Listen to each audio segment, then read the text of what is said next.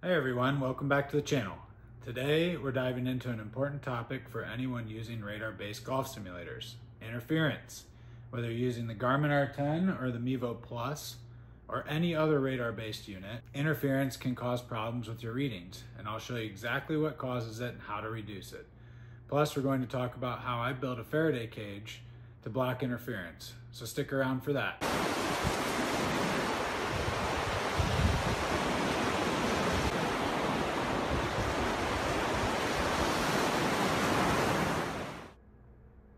Radar-based golf simulators work by sending out radar signals to track the ball, but these systems are sensitive to a variety of environmental factors. Let's break down the main causes of interference. First, we have electromagnetic interference, or EMI. This is when electronic devices like Wi-Fi routers, smartphones, computers, or even household appliances emit signals that disrupt the radar's ability to detect the ball properly. It's like having too much noise in the background that messes up the signal. Anything that emits radio frequencies or signals can interfere with your radar's operation. So if you're seeing odd readings or missed shots, you might want to try turning off or moving nearby electronics.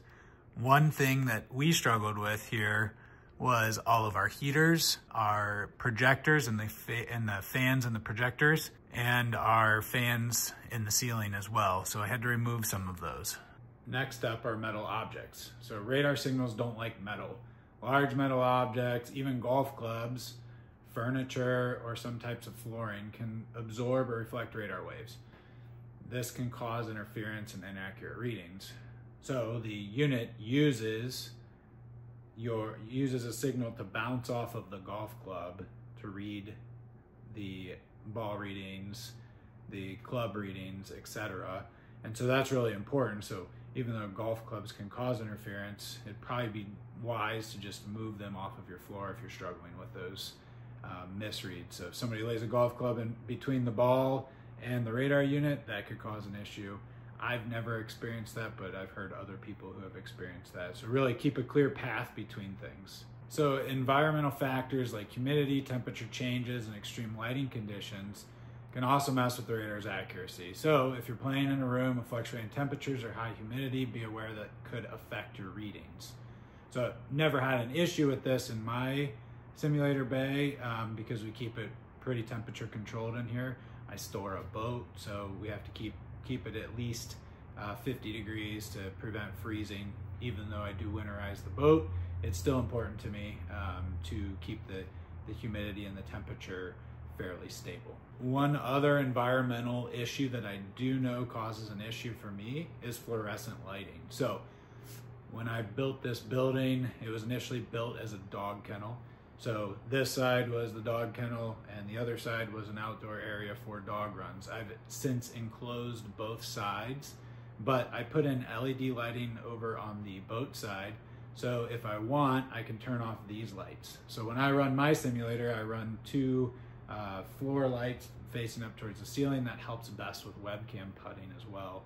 But I try to keep the ceiling fan off and I definitely keep the fluorescent lighting off because that is one big factor for me that does affect uh, the Garmin R10 and it also affects the Mevo Plus in both of my trials.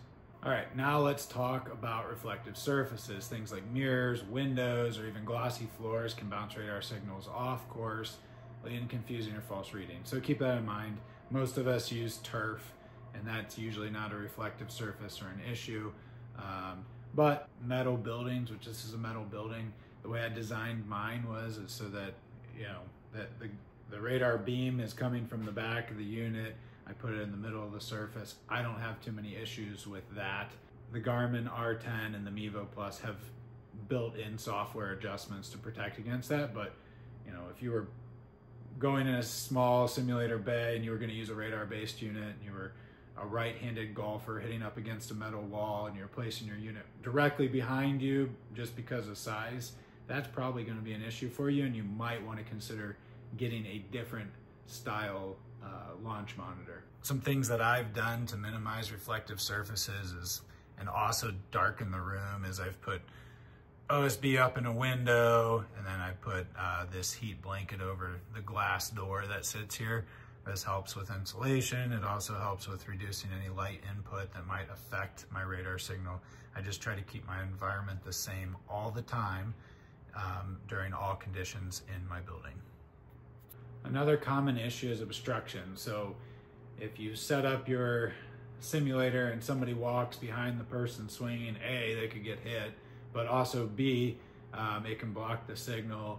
So if somebody's in their backswing or coming down on their downswing, it can cause problems with tracking the golf ball. So in our bay, we've set it up so that the golf ball sits on the mat here, but even a person walking between the simulator and the ball is set up here, or say that person in the chair over there gets up and walks through, you know, even if they straddle the unit and walk through, that can cause the interference.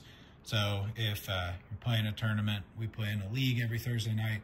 So if somebody walks between there, they just have to know, A, again, they could get hit by the club, and B, it also can mess up the person's swing. So try to try to keep that in mind. You know, we have people sit to the right and then back over there by the computer um, during during play, and just something as simple as them moving or whatnot could definitely cause interference and cause a misread.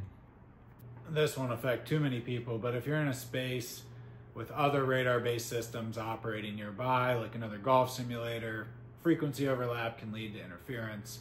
Some units operate in similar frequencies and can interfere each other. So if you are setting up multiple golf bays, um, and let's say you're going to use TrackMan, I'm assuming, I don't know for sure, but I'm assuming TrackMan allows you to change the frequency.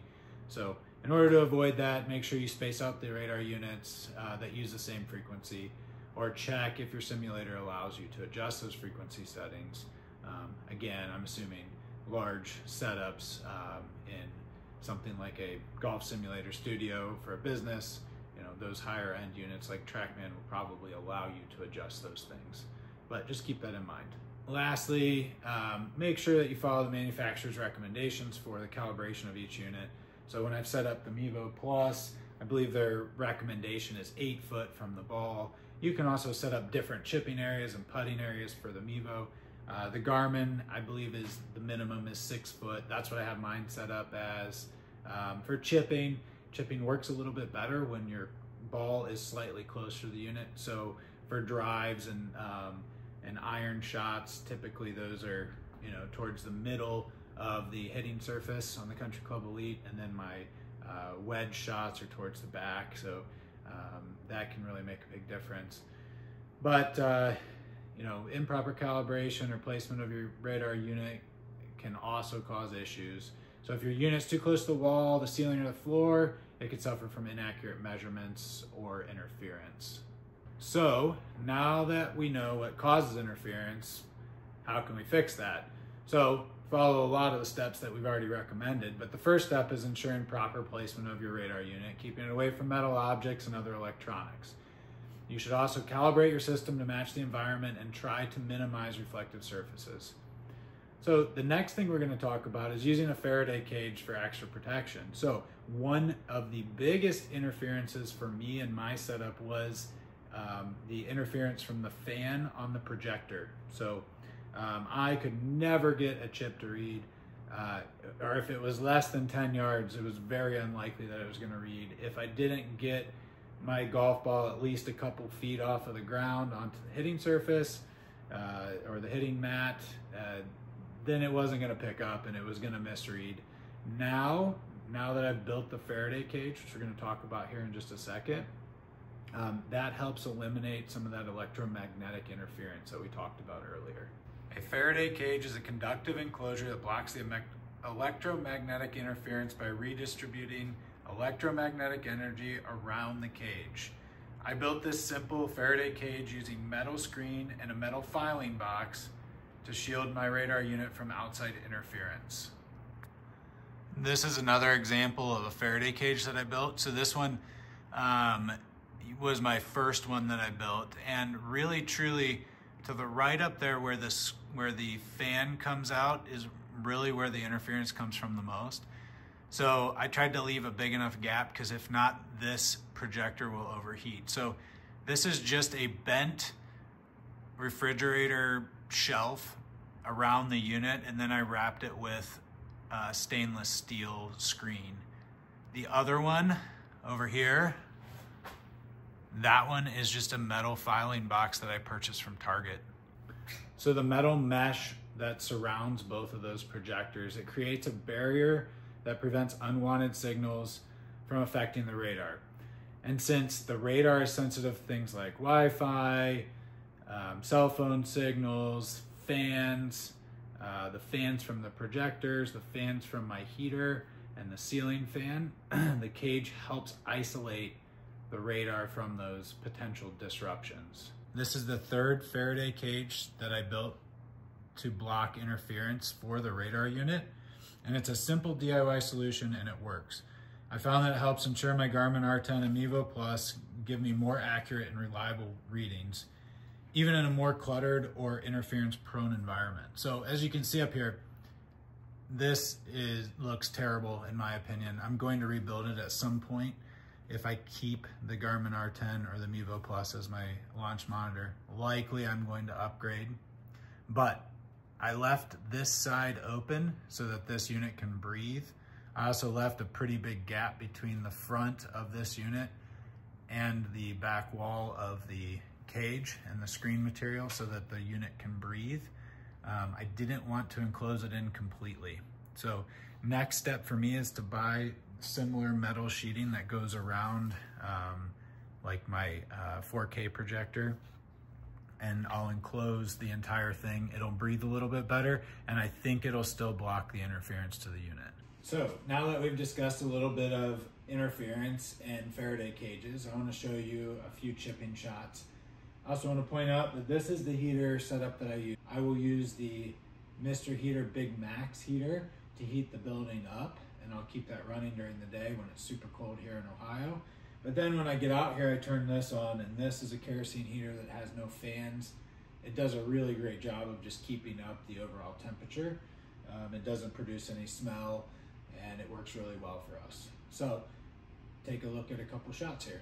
All right, I'm connected through Springbok connector and GS Pro using the Garmin R10 for this test. Um, you can see I have my floor projector on and I have my other projector on. Both of those are in Faraday cages. Again, when it's super cold, I will use the Big Max heater and it doesn't seem to interfere. Sometimes I will run the fan and that also does not interfere, but I try to eliminate as much interference as possible. I have both sets of lights turned off because that provides the best projection on the 4K projector. And uh, so here is a couple chip shots and we'll see how it works.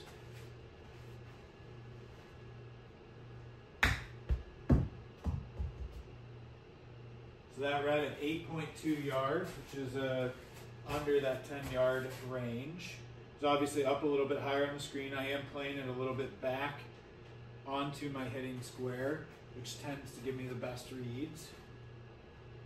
That was a lower chip, and it read 8 yard chip overall, raw carry of 4.3.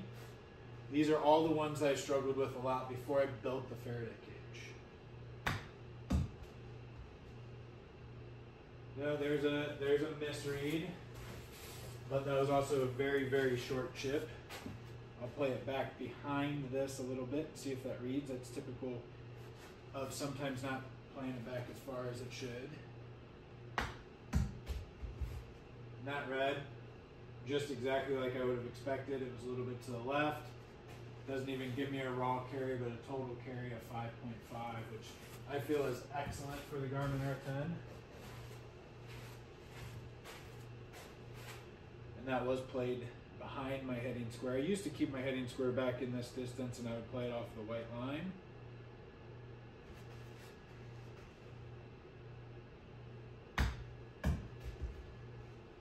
There's another pretty accurate read in my opinion. It read a total length of 5.7 yards. So as you can see, it works really, really well as far as blocking interference.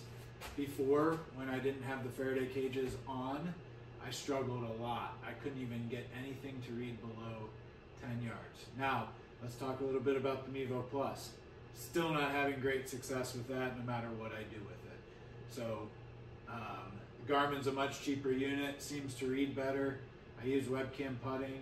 I can't get the Flight Scope Mevo to work at all. I have fiddled and fiddled and fiddled with that thing and I have had zero success. So until I upgrade uh, to either the, the Open Launch Nova or the overhead unit for Pro T VX, I'm gonna stick with the Garmin R10 because it seems to be the best for me at this point. So there you have it. If you're struggling with interference in your radar-based golf simulator, make sure to check for these common causes and try some of these solutions like optimizing your setup or using a Faraday cage. Um, I obtained a lot of information from Ben at Triple Go Bogey Golf and also uh, from Joe Lagowski. They've given me a lot of help um, as far as their videos go. Uh, they're great guys. They respond to comments. So follow those guys if you haven't. Also, please like and subscribe for more tips. And always, thanks for watching.